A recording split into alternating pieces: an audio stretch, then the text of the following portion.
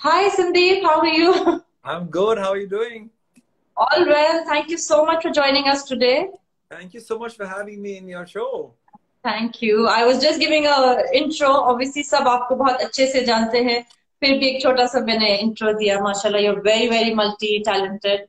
And uh, God bless. And thank you so much for coming in today. Thank you. Thank you. So, any plans of coming to Dubai anytime soon? Well, actually, there were two, three things I was supposed to come for, but I'm a little scared to travel. So I'm Okay. not doing it uh, as of now.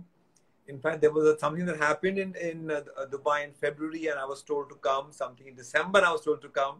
And I Okay. didn't go to those events because I think I have my parents with me at home, so I just don't want to take that risk as of now. So it's just better. Safety.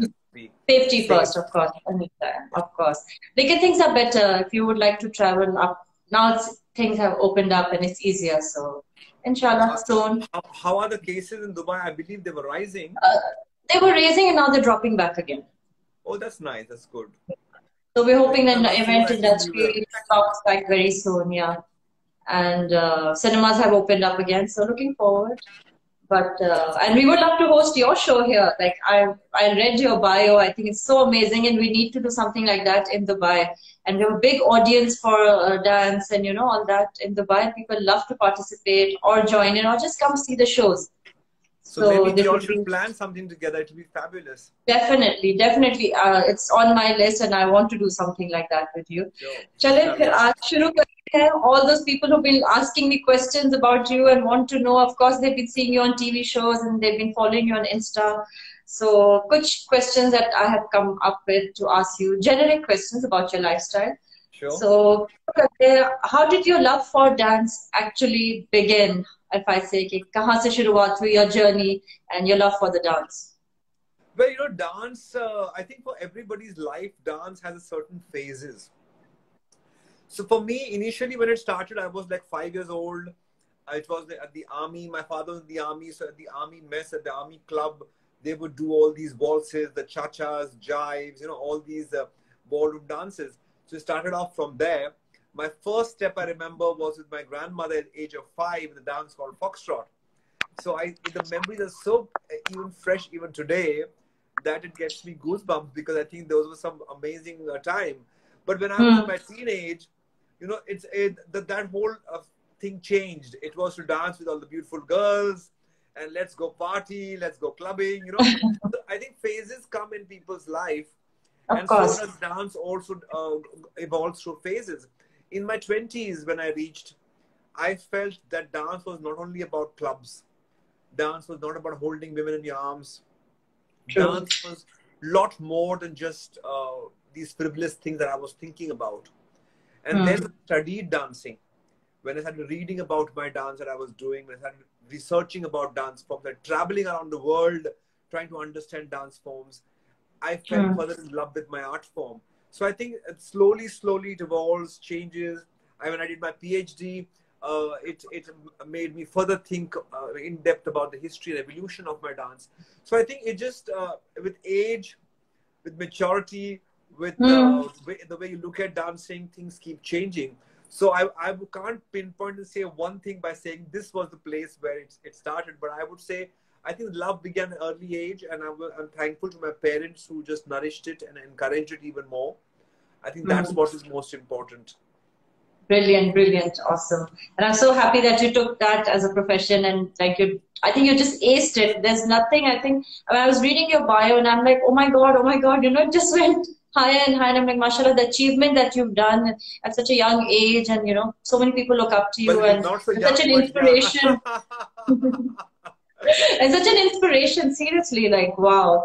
Um, so I was reading and obviously I, um, the, the your initiative for Dance for a Cause. Tell us something more about it. That you started this and uh, elaborate on this for the people. began in 2008, and I'm very happy to tell you that this was the first dance show which got a best opening ever in the world. We performed it at the World Economic Forum in Davos in Switzerland. It Hmm. was apart from that, the best part about it was we had Bill Bill Clinton sitting and watching the show. We had Nicolas Sarkozy was sitting and watching the show. It Oh. got the best opening for any dance show ever. And Wow. the theme that we used for Dance for a Cause that year was Save the Tiger. Tiger, which is our, as in India, I would say, our, our, our national animal. And we were Hmm. talking about how the world should come together and to save our national animal. And of Wow. course, to, to, to, to save the animal as well. And we had association of PETA, we had association of uh, WWF. They all came in uh, as our, our supporters. So it's got the best opening ever. So what we do for Dance for a Cause basically is every year we pick up a cause Okay. and we make a dance drama out of it. A short dance Okay. 10 minutes, 20 Hmm. minutes, 30 minutes, maybe depending on what the cause is. And Right. perform that particular cause, the show all over the world. Now I have the support of United Nations also. I have the, I'm at so many different countries. I'm in uh, Singapore. I'm in, uh, in, in Germany, in, in England, in of course in America, in a few places in America. Everywhere we are performing Dance for a Cause. Um, it got the National Excellence Award by the government of India as well. Wow. The government uh, issued a stamp to honor, a postage stamp to honor Dance for a Cause when we finished 10 years. So I think Mhm. um, it was something I began because I felt that my grandfather once had told, my great grandfather once had told a beautiful thing. In Hindi, it is, um, I don't know if uh, the audiences in Dubai would be able to understand when No, I no, they do. They do very much Hindi. Hindi. Uh, he had said very interesting thing, which till today is is with me, and because of which I think it, um, you know, I started dance for a cause. He had said ji. that तलवार और तोप युद्ध जीत सकती है तलवार और तोप युद्ध जीत सकती है लेकिन कला और कलम युद्ध छेड़ सकती है बिल्कुल and Bilkul. that is what stayed in my mind forever. That I'm a kalakar, I'm an artist, and Bilkul. what I can say, what I can do, actually can ignite fire. It can ignite wars. It can ig- ignite things in, in inside people's hearts and minds. And today in the world, we require so many things. The society requires so much, so much of help from each other. We need to True. stand holding hands rather than fighting with each other. So if my Bilkul. art can can awaken people, then why not use it as a right medium? So yes, we are Right. having shows, we do classes, all that is separate. We do choreography for films. That Hmm. becomes more of a uh, a passion turning into profession. But somewhere, as an artist, we need to give back to the society. An artist is a window to the society. And there's so many people look forward the to. reality Hmm. through our art form. And that is what Dance for a Cause did. And we have helped so many different types of causes, be it drug abuse, acid attack, domestic violence, be it animal rights, uh, help the elderly, organ donation, cancer, so AIDS, H- so much, so much, so much I can't tell you. It's just been every year a new cause, new NGO, a new people.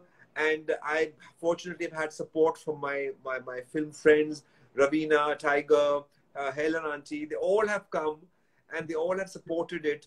And I think that So what brilliant. makes it even more special because people come and encourage what we are Encourage doing. and support The awards the it just feels wonderful.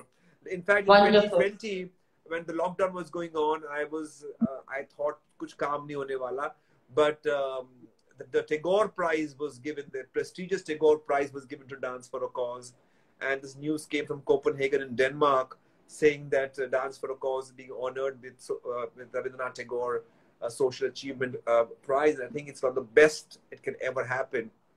So Wow. I'm very thankful that it's taken these beautiful turns totally. And it's so overwhelming and you know the way people connect to this and you're helping people out. I think it's just a fabulous thing at, uh, and like you're saying different cheezon ka utha ke pick can you do this. I mean it's very rare you get to see this.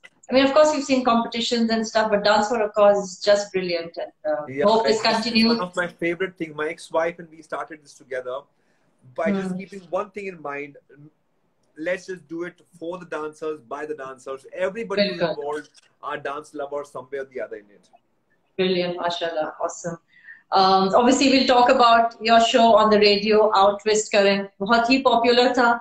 I think uh, everybody knows about that, and you had massive. You you received a Guinness Book of uh, a world record from London UK certificate for that. So Yes, tell us more uh, about That how was that actually happened. a- And very movie, you know, like from surprising UK. Because I never thought that I'll be able to express through my voice. You know, as Hmm. dancers, we express through our body language, through our expression, and so on and so forth. But using voice to express uh, and bring out something was something very very new for me and i think i would completely thank radio nasha radio 1 and fever fm all the three channels who put up my show um, on, on on the radio station and we did two seasons for it now in fact i'm starting season 3 next month Oh, so we are wow. just um, yeah it's just been something i never expected it to happen and yes it was the most uh, it's the prime time show and it's the most popular Mhm. right now on, on, on indian radio stations which i enjoyed choreographing uh, it didn't do too well though it's a film called holiday Okay. i rehearsed for that film for nine months Wow. with Dino Wow. And that time Smiley Suri and later on Anjali Nair. And I had a blast uh, doing that uh, choreography, but the film, of course, didn't do too well. But I think when you put so much of sweat into something, you will always remember it. Nine months is, is not a It's a lot of- it's like almost a year. Yeah. And it was real uh, hard work by the artist and, of course, by us as choreographers. And I think it was something I really enjoyed doing. But in terms of artists who I loved working with,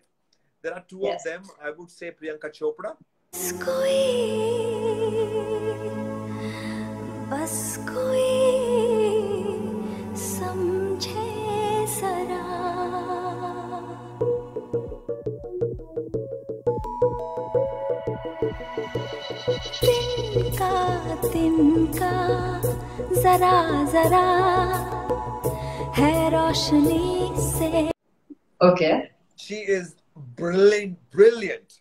I'm sure. That's why I said Tinka. Tinka still haunts me at times, you know. It's like just amazing. Yeah, she's just fabulous. And amongst the men, it's Hrithik Roshan, undoubtedly. Of course. Uh, yeah. He is uh, when you are when I'm choreographing for him or when I do work for him. Uh, you know, one has to really set go ahead of your own benchmarks that you're making. I remember doing this song for him called Fire from this film called Kites. and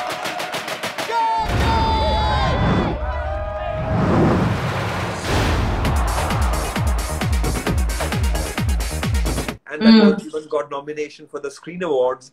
And um, when later I worked with him again, I had to think, okay, now I have done Fire, I need to go up. Uh, You have to raise the bar. That, yeah, which is quite tough. So I think an artist like him challenges your own creativity, challenges your own imagination, and so that you can go completely berserk. And at the same time, he adds more value to what you provide to him. So I think Hmm. all this uh, makes you, in, uh, you know, want to do something for an artist like him. We were judging one show, in fact, in Dubai. We were doing. Jhalak Dikhla Jaa. Um, Yes, I was coming to that. Yes. yeah, so, so Sarojji and we were judging that season of Jhalak Dikhla Jaa in UAE, and we were flying from Bombay to uh, Dubai. And uh, I had a lovely conversation with her. And she said a very beautiful thing to me, which I will never forget. Now she's no more, but something I will always remember uh, my my few hours of flight with her. And she said, as choreographers, we are sitting in one uh, uh, on one chair. Hmm. People will come, actors, actresses will come, they will go. New ones will come, new ones will go. हम बिल्कुल उसी कुर्सी पे बिल्कुल बैठे रहते हैं सो हमें उस कुर्सी का घमंड नहीं होना चाहिए so people who will go up will also come down and you will be still sitting in the middle watching you'll actually see them grow or god forbid come down. That's so true. और आप वहीं पे हैं। जाएगा हर कोई जाएगा because they are the stars. सूरज जो है और तारे जो है हमेशा चमकते नहीं है।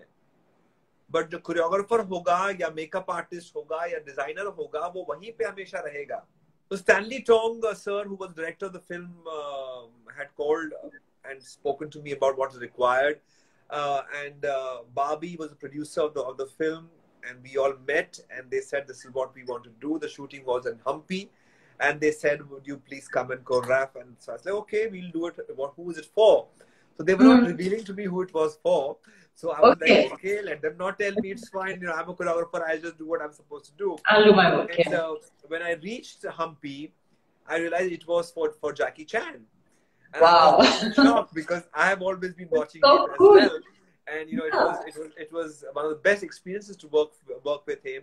And he uh, is so fluid with his hand actions because of his martial arts that there's Wow. not much to actually teach an artist like him.